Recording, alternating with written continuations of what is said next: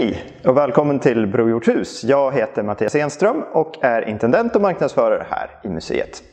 Idag så tänkte jag presentera det verk som jag har bakom mig, nämligen Lestadius-triptyken för Jukkasjärvi kyrka. Det som hänger här i Brohjorts eh, ateljé det är hans skisser som är i full skala målade olja på duk till de träreliefer som hänger i Jukkasjärvi kyrka. Jag är själv i museet så att eh, jag kommer inte att stå här framför kameran utan jag kommer att stå bakom kameran. Häng med!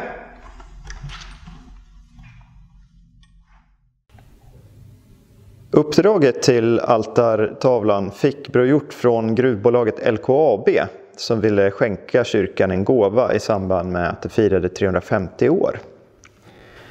Och Bror Hjort, han grep sig an det här motivet väldigt grundligt. Han läste på en hel del om prästen Lars Levi Lestadius som finns med både på den vänstra delen och på den högra. Eh, på den vänstra tavlan så ser vi Lestadius hålla en straffpredikan över syndarna. Och nere i nederkanten så finns det en text skriven och på den står det Ni drinkare, ni tjuvar, ni horkarar, ni horkonor, omvänden eder. Lestadius han var ganska mustig i sitt språk när han predikade. Och han predikade också på flera olika språk så att församlingen verkligen skulle förstå vad han sa. De här orden de kommer från en nedtecknad predikan från Lestadius så det är ingenting som Bror själv har hittat på. Syndarna här till vänster, ja det skulle kunna vara vilka som helst egentligen, men Bror hade svårt att avbilda vem som helst, utan han gav alla sina figurer eh, karaktär efter personer som han kände.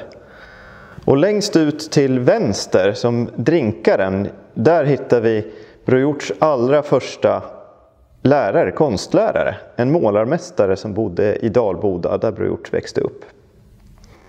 Och målarmästaren Elis Pettersson, ja han var stundtals aktiv i nykterhetsrörelsen och däremellan var han väl inte fullt så aktiv. Så det passade ganska bra att han fick vara drinkaren. Samen som får tillbaka sin ren från tjuven här, han har tagit drag av Brorts egen son Ole. Och mannen i paret som står bredvid Lestadius han har drag av Brort själv som alltså har bildat sig här som horkaren. Kvinnan där som står vid hans sida hon har ju då fått lite rundad mage som man kan lägga märke till. Bakom den här gruppen med syndare så hittar vi just Jukkasjärvi kyrka. Den ser ut precis så där. Men bakom Jukkasjärvi kyrka så finns det inga höga fjäll i verkligheten. När vi står här i, i Brujorts ateljé, ja då kan det te sig naturligt med höga berg. Det ger liksom bilden av långt upp i norr. Men i Jukkasjärvi där är det ganska flackt, eh, flacka kullar bakom kyrkan. Det går också ett vattendrag där precis eh, bakom. Eh, därav namnet Jukkasjärvi. Eh, de här fjällen de har gjort kanske lagt till för att spetsa till Lestadius budskap. Och han har ju också förlagt hela scenen till smällkalla vintern. Så att man förstår att det inte bara är orden som ska bita i kinderna utan även kölden. Man förs in i mittbilden med hjälp av det här norrskenet i övre högra kanten den går in i mittdelen och slår ut som en strålgloria kring Jesus huvud. Anledningen till att Bror har delat upp motivet så här i tre delar det var att längs med altarväggen så gick det två stycken balkar ner. Och de där tyckte Bror var så eh, fina så att han behöll dem och la till två stycken horisontella balkar runt eh, mittbilden. Det kan man se i den här skissen som hänger nedanför tavlorna här i Brogårdshus.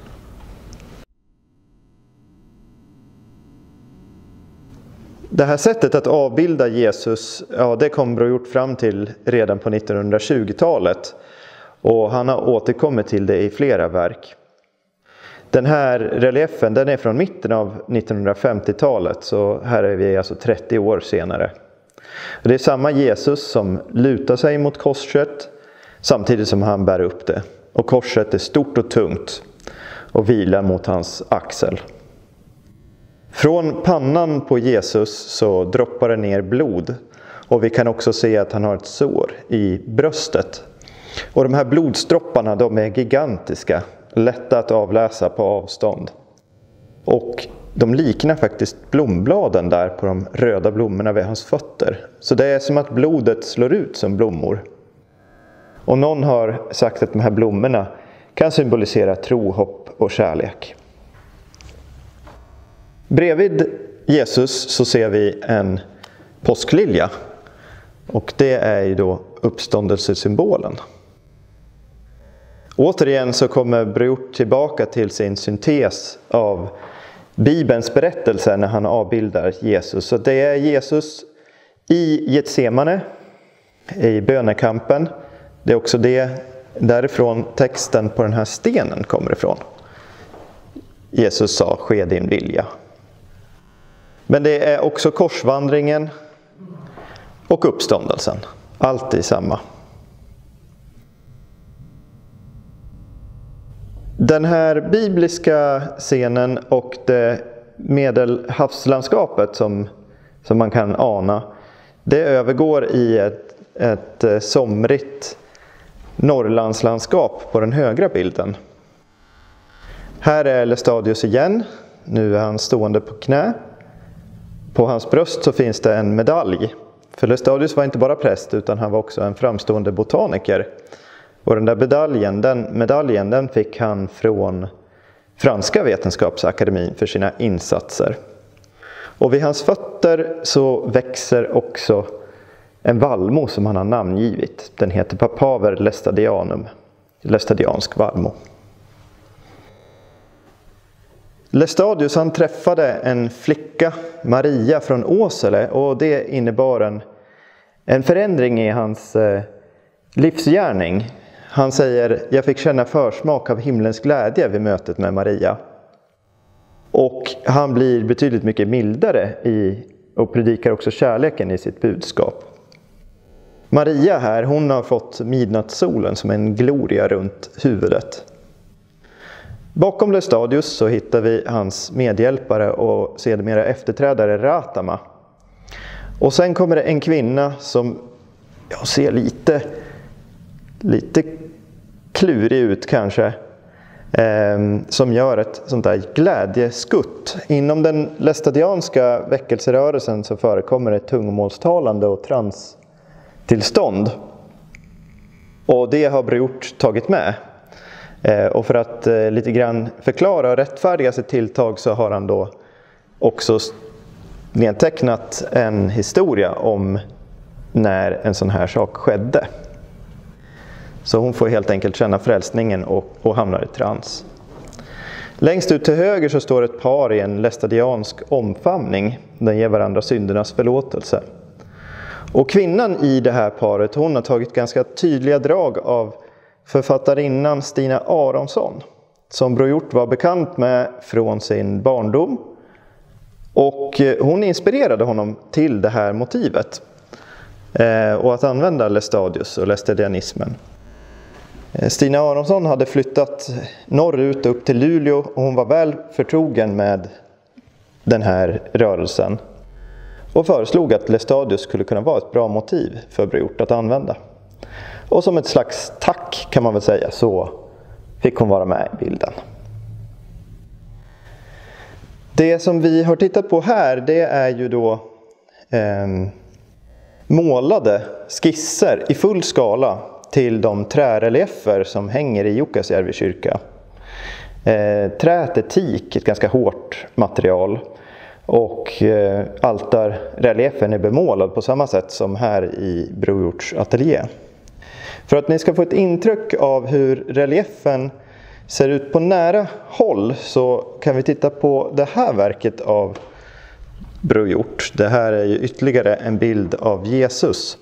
Om vi går riktigt nära så kan vi se att han har huggit ganska tvärt in i träet. Och att reliefen inte är särskilt hög egentligen. Den kanske är 3-4 centimeter hög. Um, han har jobbat istället med olika plan,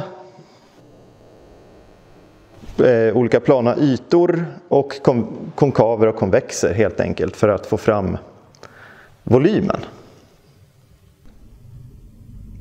När församlingen fick se Brujorts altarbilder för första gången, ja då var man inte jätteförtjust. Eh, man tyckte att eh, det skulle bli svårt för utomstående att förstå till exempel den här kvinnans skutt eller eh, ja, Brujort han hade ju inte, kunde ju inte ha varit uppe i Jukkasjärvi för och sett några renar för den där renen det ser mer ut som en ko med horn på. Men Bror han hade verkligen läst på om Lestadius så pass mycket faktiskt att när han skickade iväg altarreliefen så suckade han, eh, pustade ut och sa att ah, vad skönt, nu behöver jag inte vara lestadian mer. Han gick verkligen in för sitt motiv. Han var också uppe i Jukkasjärvi och tecknade av naturen.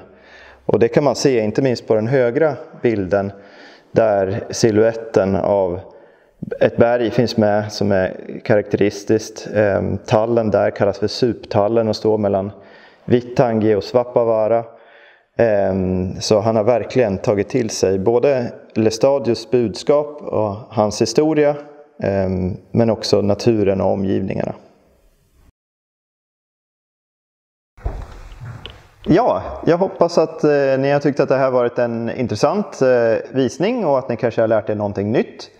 Det finns fler saker att berätta om verket men eh, det här fick, eh, det här fick räcka för idag.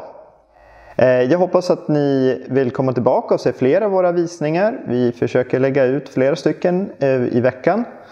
Och om ni har några önskemål eller frågor eller synpunkter så får ni gärna lämna en kommentar till den här videon. Så hoppas jag att vi ses igen. Ha det bra, hej!